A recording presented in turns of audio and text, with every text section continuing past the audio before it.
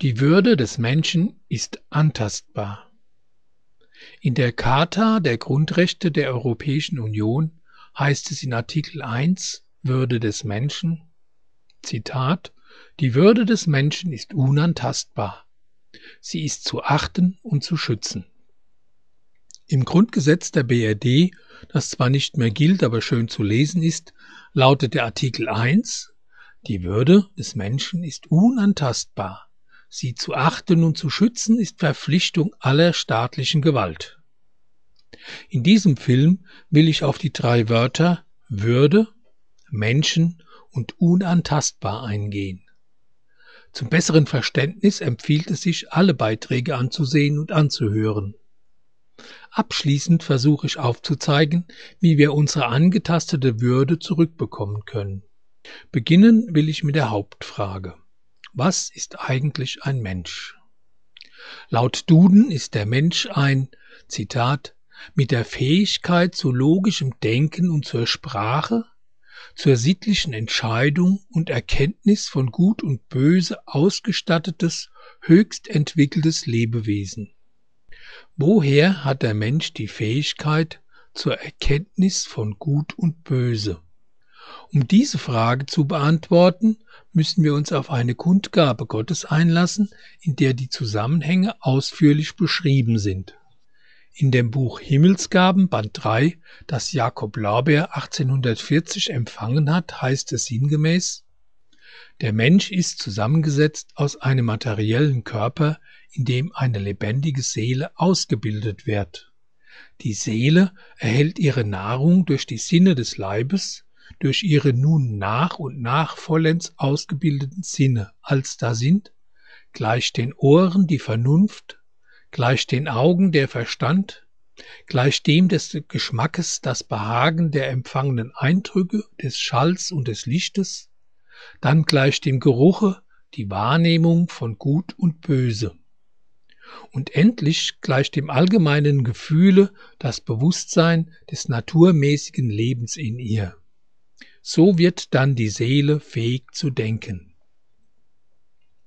Später heißt es, ungefähr drei Tage vor der Geburt aber wird aus der allerfeinsten und zugleich solidesten Substanz der Seele in der Gegend des Herzens ein anderes unendlich feines Bläschen gebildet, und in dieses Bläschen wird ein einst böse gewordener Geist, der da ist dem Wesen nach ein Funke der göttlichen Liebe hineingelegt.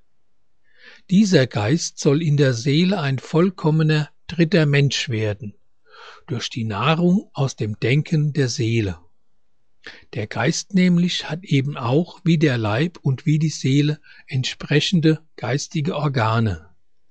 Als gleich dem Gehöre und der Vernunft die Empfindung oder die Wahrnehmung, gleich dem Lichte und dem Verstande den Willen, gleich dem Geschmacke und dem Behagen der empfangenen Eindrücke des Schalls und des Lichts die Aufnahmefähigkeit alles Welttümlichen in entsprechenden Formen, gleich dem des Geruchs und der Wahrnehmung von Gut und Böse, die Einsicht von Wahrem und Falschen, und endlich gleich dem allgemeinen Gefühle und dem Bewusstsein des naturmäßigen Lebens die aus diesem allen hervorgehende Liebe. Demnach besteht der Mensch aus drei Menschen, dem materiellen, dem substanziellen und dem geistigen Menschen. In der Bibel heißt es bei Moses dazu, und Gott der Herr machte den Menschen aus einem Erdenkloß und blies ihm ein den lebendigen Oden in seine Nase, und also ward der Mensch eine lebendige Seele.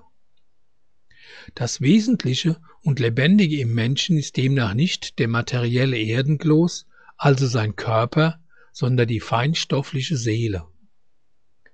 Im 41. Kapitel des Buches Erde und Mond von Jakob Lorbeer wird der Unterschied zwischen dem materiellen und dem substanziellen erläutert.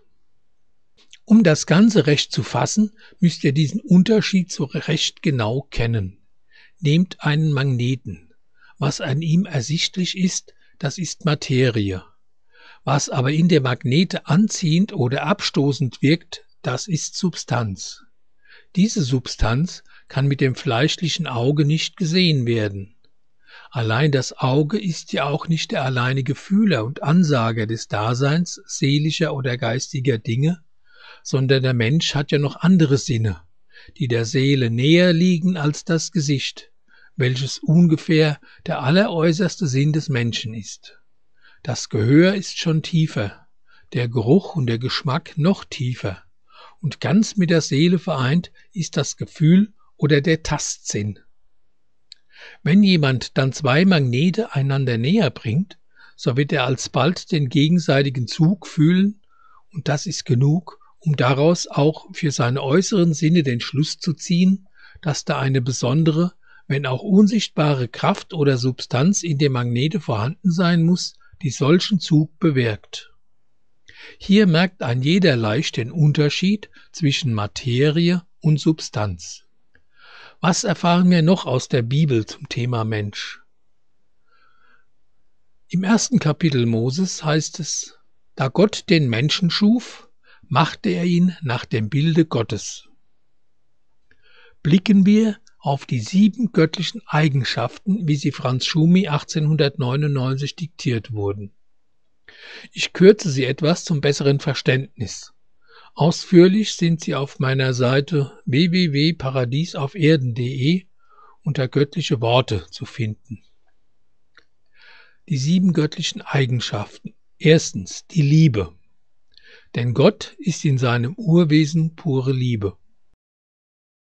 Zweitens Weisheit. Diese veranschaulicht euch die ganze unermessliche Schöpfung in ihrer Mannigfaltigkeit der Arten, Formen und Gattungen und in ihrem unendlichen Gedankenreichtum. Drittens Wille. Der Wille Gottes ist der Heilige Geist in der Dreieinigkeit Gottes. Daher die Allmacht Gottes, welche die Welt erschuf und die Welt regiert. Durch diesen Willen habe ich alles zu Wege gebracht. Und dieser Wille ist es, der die Erde in ein Paradies verwandeln und meinen Kindern zur Bewohnung übergeben wird. Viertens. Ordnung. Ohne Ordnung kann die Welt nicht bestehen. Daher muss eine solche Regelmäßigkeit in allem bestehen, dass nie ohne meinen speziellen Willen eine Unordnung eintreten kann. Wäre dies nicht der Fall, so würde bald alles in Trümmer gehen, denn es würde eine Welt die andere zerstören und alles übereinander häufend vernichten. Fünftens. Ernst. Nachdem ihr die obigen Grundeigenschaften in der Ordnung erkannt habt, ist es euch leicht zu verstehen, dass der Ernst die Entwicklung der vier vorderen Eigenschaften in eine fünfte ist, durch welche die Welt in ihren Grundfesten erhalten und bis zum kleinsten Atom durchwirkt wird, um nie eine Abänderung zu erleiden. Daher der Weltbestand, der durch den Ernst in der Ordnung festgehalten wird. Sechstens Geduld. Meine Ewigkeit ist die Geduld, und diese bringt alles zu Wege, was die fünf genannten Eigenschaften wollen, langsam aber sicher. Daher der Spruch Gottes Mühl mal langsam aber gründlich. Ich überstürze nichts, denn es müssen zuvor alle Bedingungen vorhanden sein, um etwas zu vollenden. Und so ist es auch mit meiner jetzigen Wiederkunft. Ich habe mir die Grundbedingungen zuvor herschaffen müssen, um meine Rückführung der Kinder vorzunehmen, ohne zu gewaltsam eingreifen zu müssen. Siebtens Barmherzigkeit. Ja, ich bin die ewige Liebe und daher aus dieser Liebe die ewige Barmherzigkeit. Wenn ich nun euch sage, dass in der Barmherzigkeit die früheren sechs Eigenschaften als Aufbau der siebenten wie die fünf früheren der sechsten sind, dann habt ihr das Geheimnis meines göttlichen Ichs klargelegt. Denn die Barmherzigkeit sichert den Bestand des Ganzen, weil ich als Schöpfer alle genannten Eigenschaften benötige, um die Welt bestehen zu machen und regieren zu können. Wo wäre die jetzige höllige Weltherrschaft, wenn ich nicht die genannten Eigenschaften besitzen und handhaben würde? Diese sieben Eigenschaften müssen wir uns während des Erdenlebens aneignen, wenn wir in Gottes Fußstapfen treten wollen.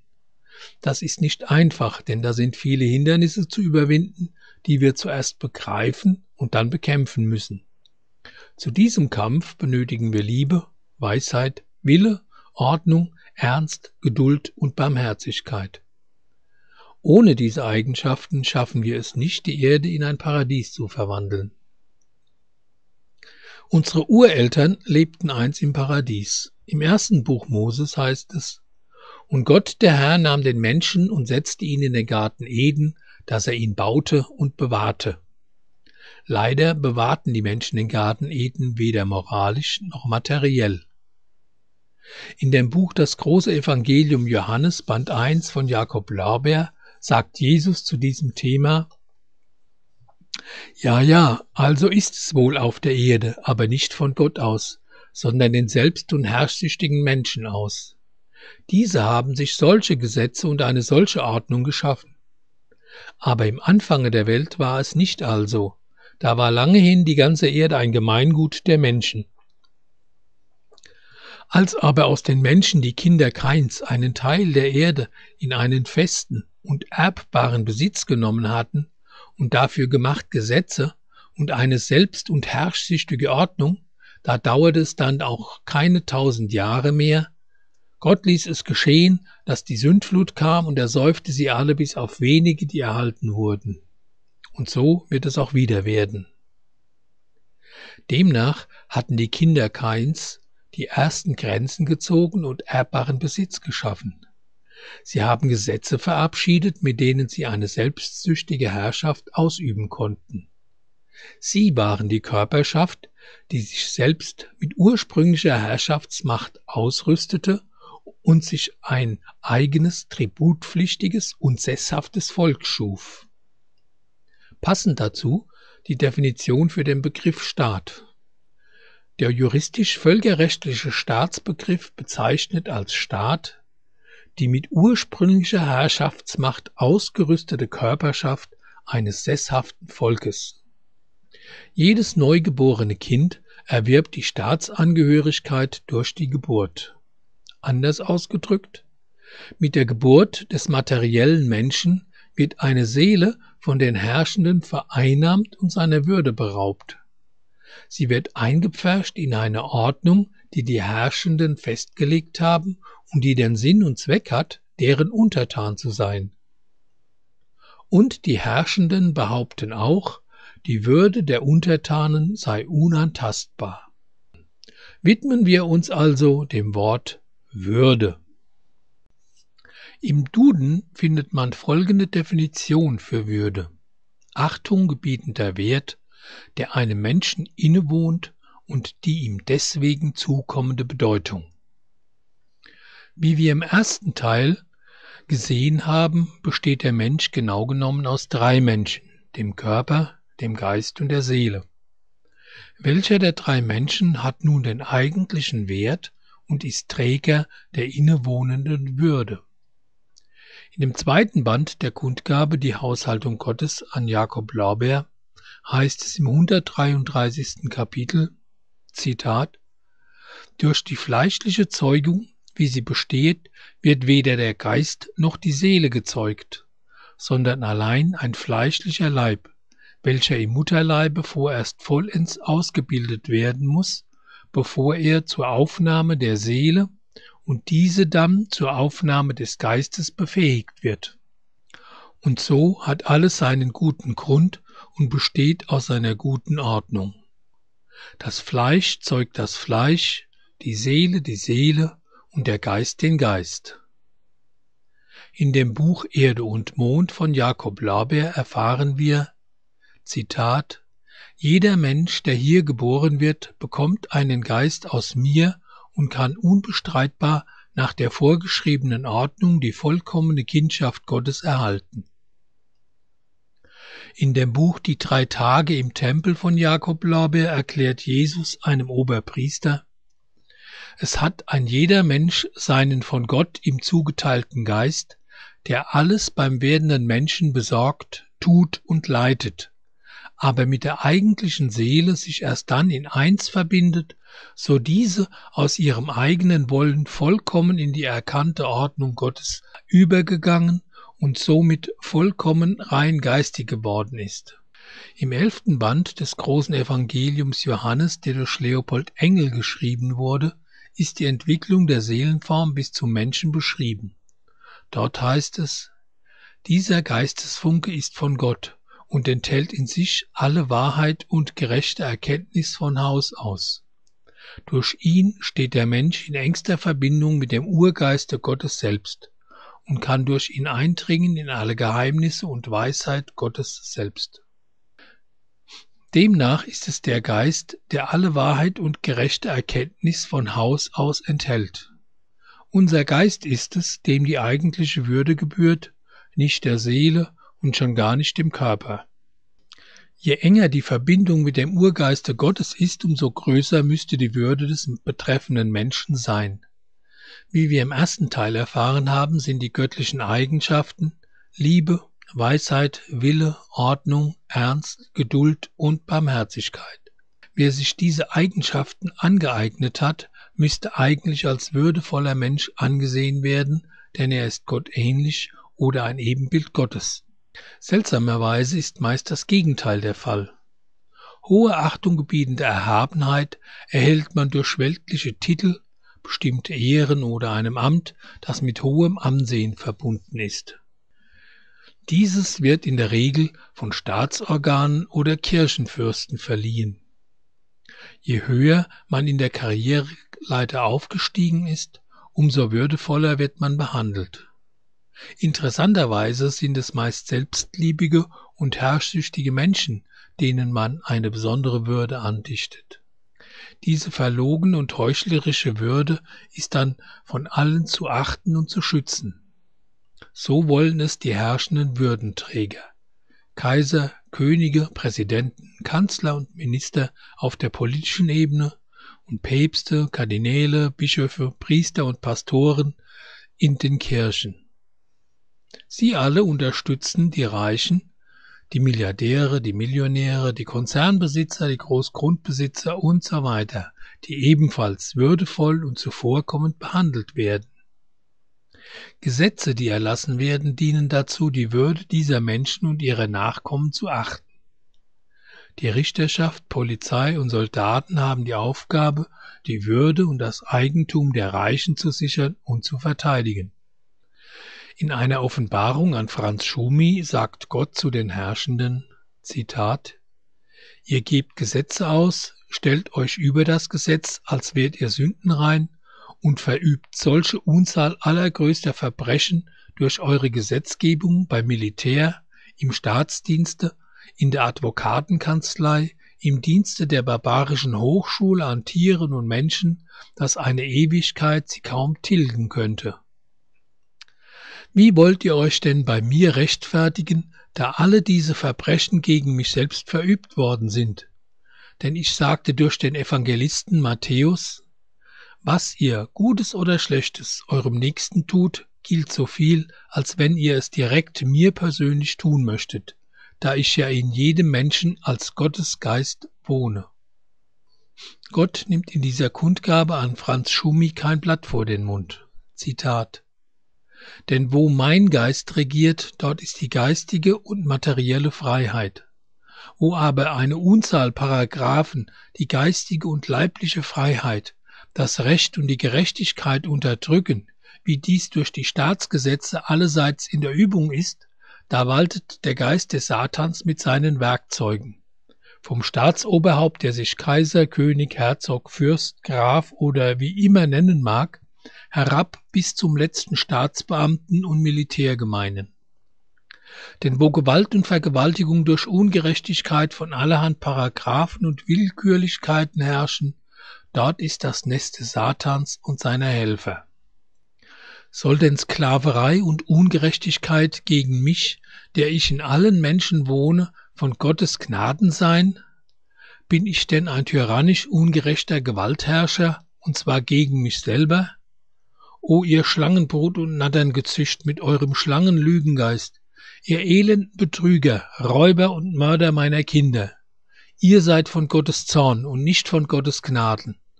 Damit ist klar und unmissverständlich ausgedrückt, mit welchen Mitteln die Würde der einfachen Menschen unterdrückt wird.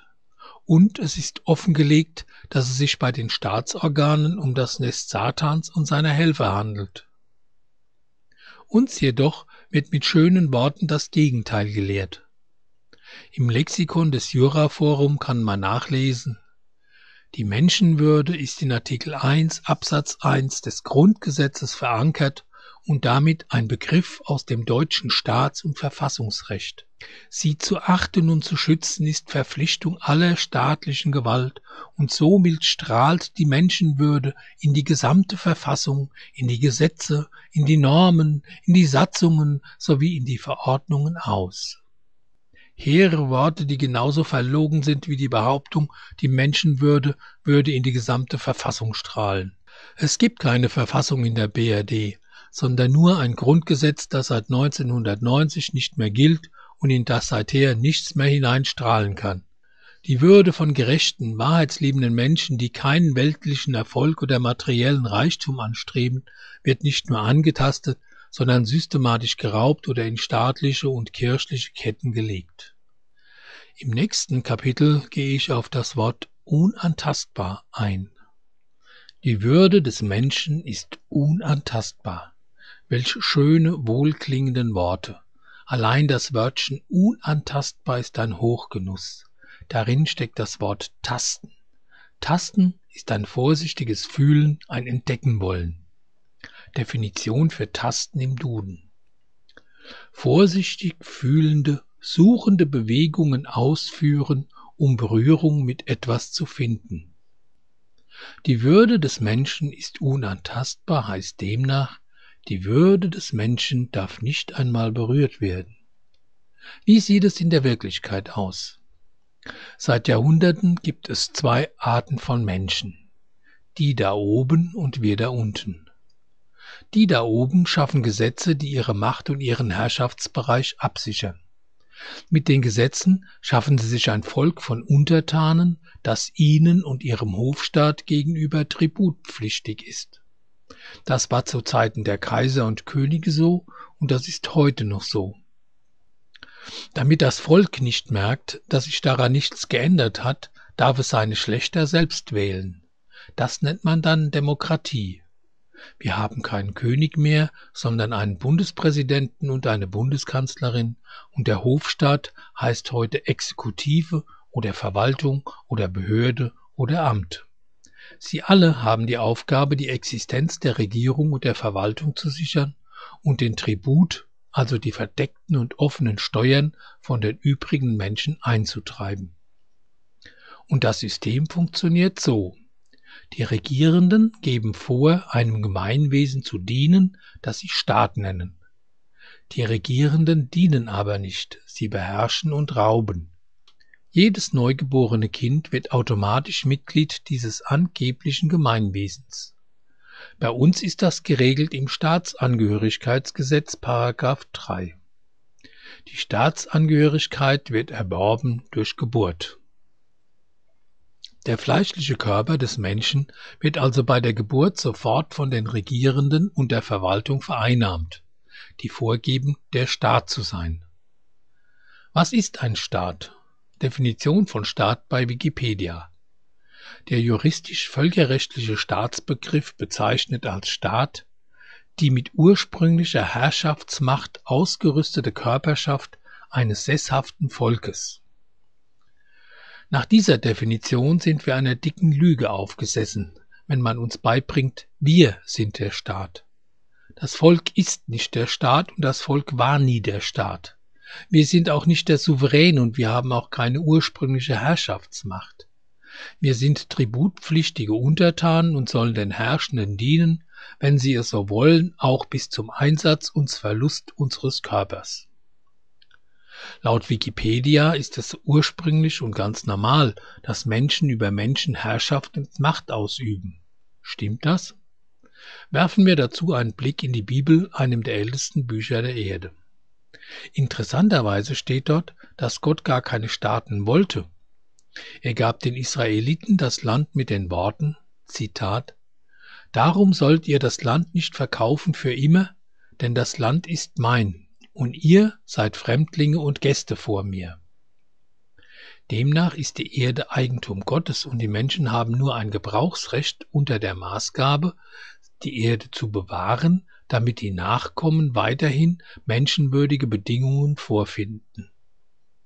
Als die Israeliten später einen König wollten, hat Gott das Volk frühzeitig vor den Folgen des Königtums gewarnt. Im ersten Buch Samuel kann man im achten Kapitel nachlesen, und Samuel sagte alle Worte des Herrn dem Volk, das von ihm einen König forderte, und sprach, das wird des Königs Recht sein, der über euch herrschen wird. Eure Söhne wird er nehmen zu seinem Wagen und zu Reitern. Eure Töchter aber wird er nehmen, dass sie Salbenbereiterinnen, Köchinnen und Bäckerin seien. Eure besten Äcker und Weinberge und Ölgärten wird er nehmen und seinen Knechten geben. Dazu von eurer Saat und euren Weinbergen wird er den Zehnten nehmen und seinen Kämmerern und Knechten geben.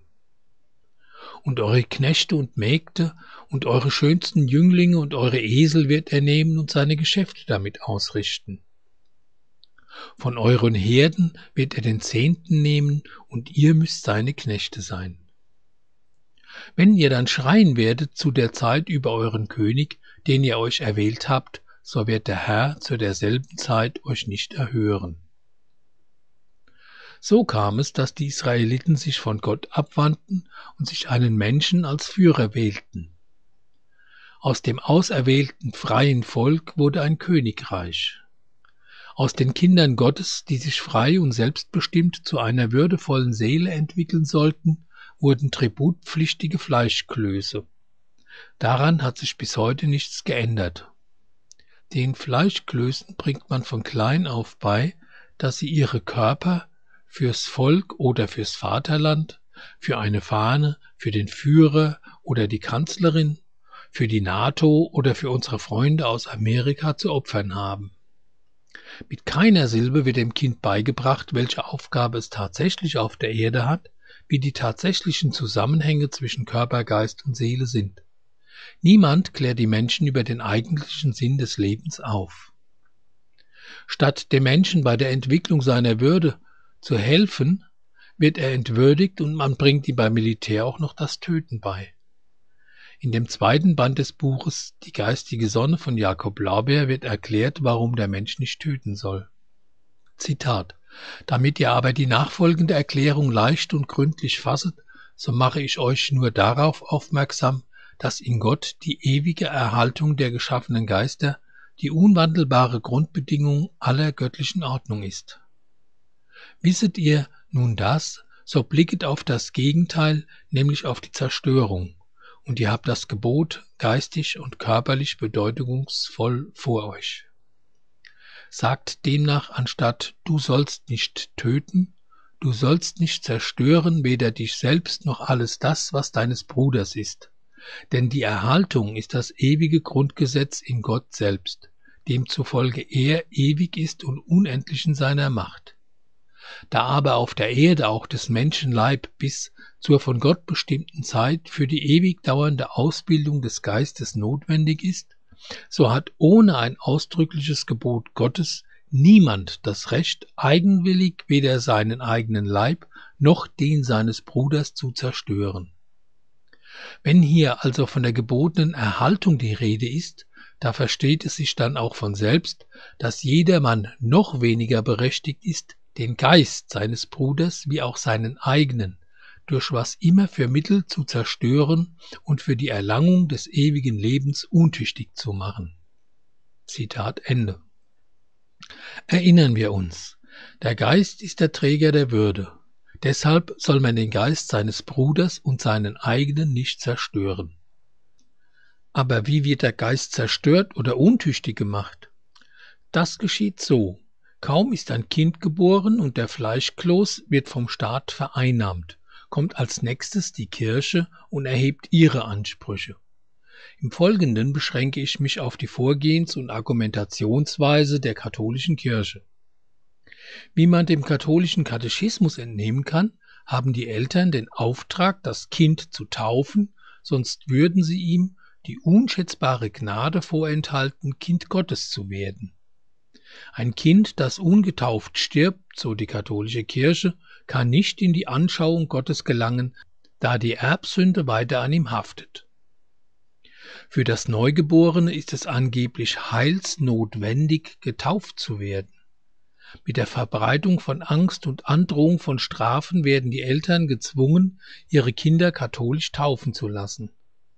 Das Kleinkind wird mit wenigen Wochen in ein verlogenes und heuchlerisches Korsett gezwängt, als ob Gott ein unschuldiges Kleinkind bestrafen würde, weil es nicht katholisch getauft wurde.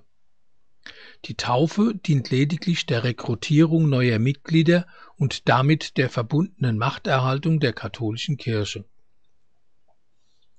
Bei mir folgten nach der Taufe ein katholischer Kindergarten, eine katholische Schule mit katholischem Religionsunterricht und mit etwa zwölf Jahren wurde ich gefirmt. Die Firmung wird mit der Berufung auf die Apostelgeschichte von Bischöfen vollzogen. Zitat die Firmung ist das Sakrament, durch das der Heilige Geist auf besondere Weise in uns hineinkommt, um uns im Glauben zu stärken.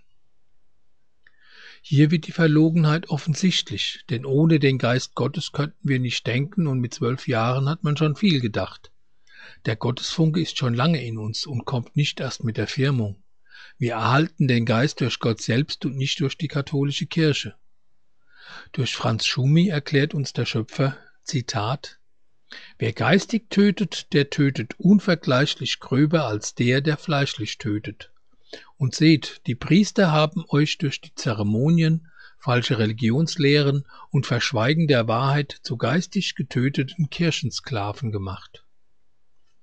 Und ein anderes Zitat. Gegen das fünfte Gebot versündigen sich vor allem die Priester, weil sie zur Sünde schweigen und dadurch sie gutheißen. In zweiter Linie aber Könige und Fürsten der Völker, die sich erlauben, für ihre eigenen Herrschgelüste meine Kinder, in denen ich selber als Menschengeist lebe, gerichtlich töten zu lassen und durch Kriege, Massenmorde an ihnen, ihren eigenen Brüdern vorzunehmen, damit ihrem Hochmut und ihrer Herrschsucht Genüge geleistet werde. Und ein weiteres Zitat. Priester eifern euch an, Gott, der Kirche und dem Papst zu opfern und betrügen euch um euer Geld so gut, als hätten sie euch bestohlen, denn ich als Geist brauche von euch nichts Materielles.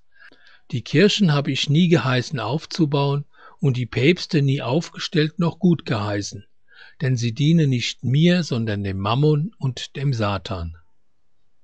Dies sind eindeutige und klare Worte. Sie zeigen, wie Menschen geistig versklavt und körperlich an zwei Herrschaftssysteme gekettet werden ein politisches und ein kirchliches. Durch die Schule und die Medien brachte man mir bei, dass wir und die GIs die Guten seien und die Russen die Bösen. Selbstständiges Denken wurde dadurch beeinflusst, dass man mir nur eine bestimmte Auswahl an Informationen zukommen ließ.